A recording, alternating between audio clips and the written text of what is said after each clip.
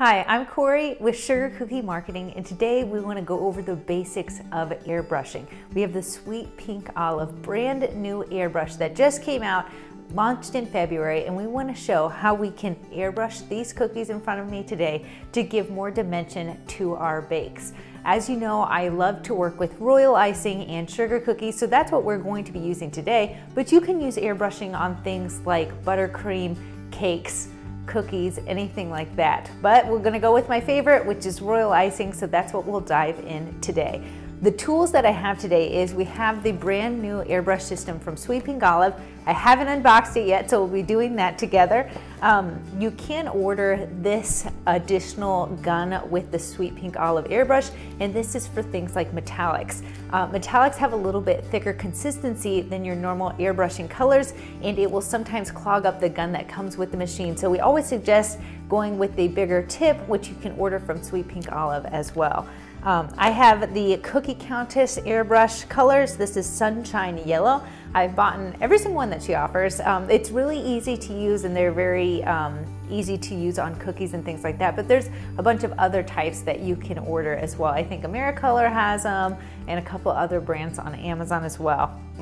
We have this Everclear. Um, if this video goes bad, I'm gonna drink it. Just kidding. This is what we actually can use to clean our airbrush system once we have done airbrushed our cookies.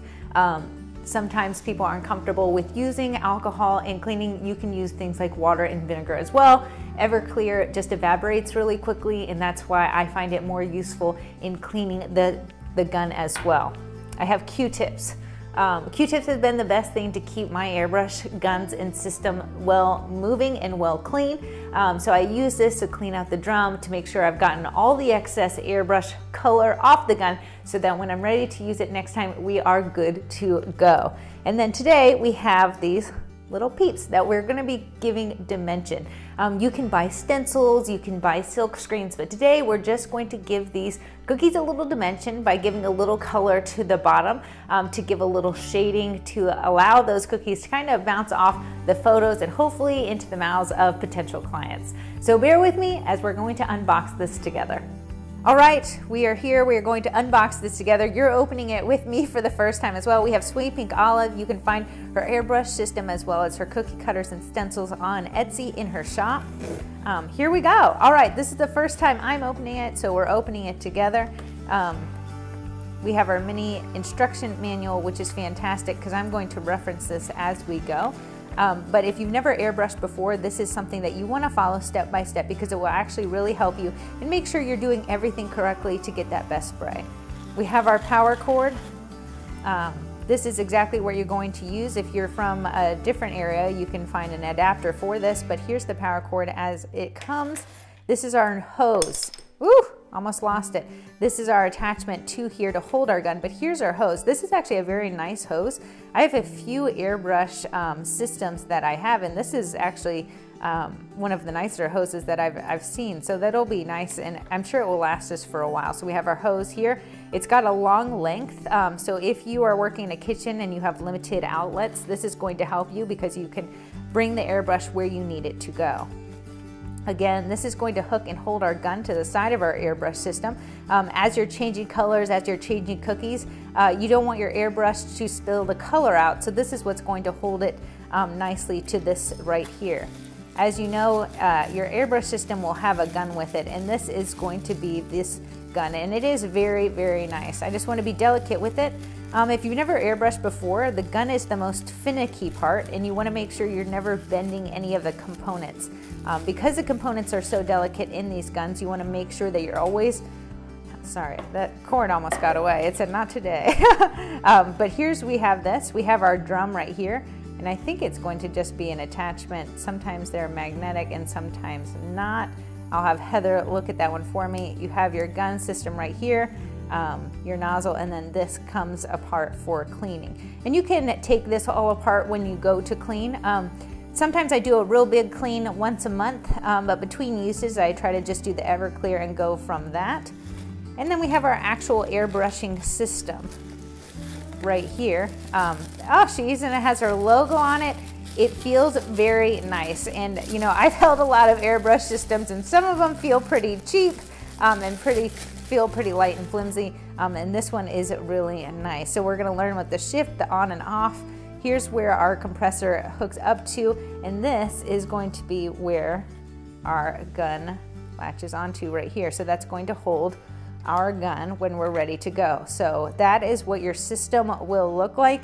In the next video, we'll turn it on and we'll go over some um, some step-by-step -step instruction to make sure your gun and system work for you. Right, so let's put our system together. We have our gun, um, we were able to get this off. It just slides right on there and that's making it so it doesn't actually spill out any of the color, which is fantastic. Um, we have this hose, it's pretty easy. You're gonna just turn this until it cannot turn anymore. You wanna make sure you have a tight seal here because this is where the air is going to come out of the gun. If we have a loose connection right here, you're gonna have air coming out of here and you will not have spray out of this gun. That's not what we want. We want a tight seal here so all the air is going up through our gun and getting air and coming out the front. So we have it hooked up here. Now let's hook it up to our system. This is very easy to do. Again, we want a tight seal here. So you're going to Continue to put this on until you get that tight seal there. There we go. Okay, cannot turn anymore, so we are good to go on this. We have our power cord, we're ready to go. It's nice and long, which is great because if you were in my kitchen, I only have a few outlets that aren't being plugged in right now, so I need as much space as I can get. This is gonna go right in the back here and then we are good to go. I'm gonna plug this in and the next video we will turn it on together. I'm gonna take it over to our outlet. All right, so we are getting ready to take the first steps into our airbrushing. If you've never airbrushed before, it's actually fairly simple, but there's a few things that you always wanna keep in mind. The nozzle always wants to be pointed straight down. That is why your cup is turned a little bit towards upward so it's never spilling out.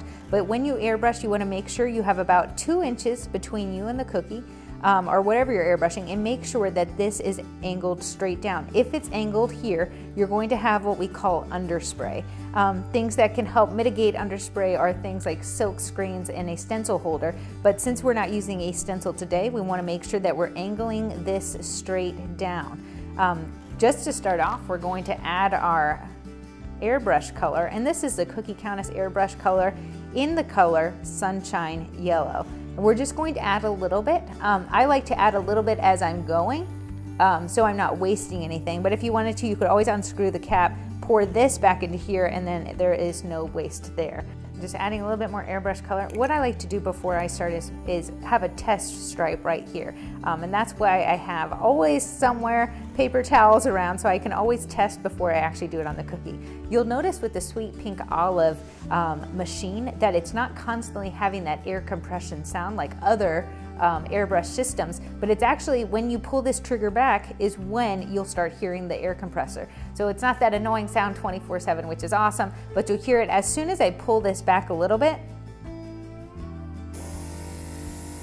you'll see that our air compressor has started. So I'm making sure everything's good to go. We put our lid on here and we are ready to give this dimension. Um, as you know with anything with dimension, we're just gonna come around down here on the side. Um, this has sprinkles on it, it's sanding sugar, but it still will work with the airbrush system. Some sprinkles you may have to research, make sure you test them before you put um, the color on that. So let's go ahead and start here.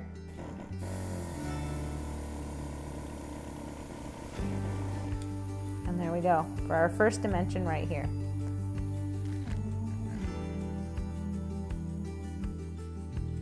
All right, so we have the dimension added to these cookies. It looks fantastic and it's going to sit there and dry. Another thing you want to look for in your airbrush system is that the spray that we have here is very consistent. If you see splatters, um, like paint splatters and your airbrush isn't coming out consistently, there may be an air problem right here and the air is being let out through one of these areas, um, or you don't have everything tight or there's a clog somewhere in your system. What we always want is a clean line when we're airbrushing um, because that makes it so our stencils, our airbrush, all those colors look fantastic and we don't have that splatter look. If you are finding out that you have a splatter look, go through the instruction manual and it's going to tell you how to take the system apart, clean it step by step, and then put it back together. Um, and then if you have any issues after that, please reach out to Sweet Pink Olive and they'll take you step by step through the process as well. And that is a quick how-to on how to set up your Sweet Pink Olive airbrush system. The biggest thing to keep in mind is to make sure that you're cleaning it after every use. Uh, airbrush coloring does dry and you don't want it to dry in your gun or in your machine. So by taking the steps to clean it each and every time is going to help you have this machine for years and years to come. A review from me since I have had so many airbrush machines this is not the most expensive one I've had, which is fantastic. I actually have a $500 airbrush machine and it's so complicated that I never want to bring it out and use it. Um, usually when I'm thinking about airbrushing, it's the step before these cookies are due and I just want to add a little dimension, a little something special. So this is awesome that I was able to put it together right in front of the camera and get to using it. Um, I love that it doesn't splatter. I have another airbrush machine. It's usually my go-to just because it's quick and easy, but oftentimes I have that annoying splatter and you only you hate it because you already put it on the cookie, but it's gotta work because you have no time. This right out of the box was awesome to use. I love that it's quieter than the other machines and it doesn't have the compression 24 7. So ooh, my head is not pounding. Uh, it's an awesome machine. It's got an awesome company behind it. I hope you enjoy it as much as I have enjoyed showing it to you today.